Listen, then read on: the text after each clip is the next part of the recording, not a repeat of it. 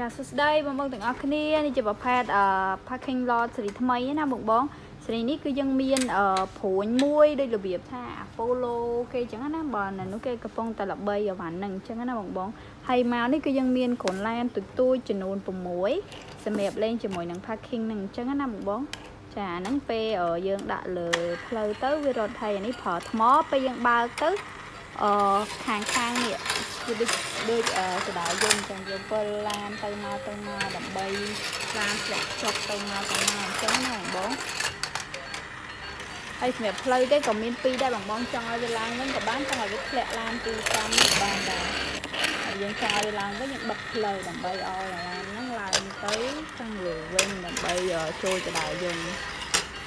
ទៅសบายលេងតែបងអូនទទួលក៏គឺចិត្តលេងឡានអញ្ចឹងណាបងបងវាជាប្រភេទ parking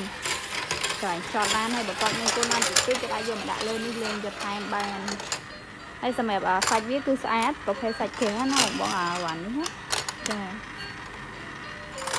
ចាអរគុណបាយបាយ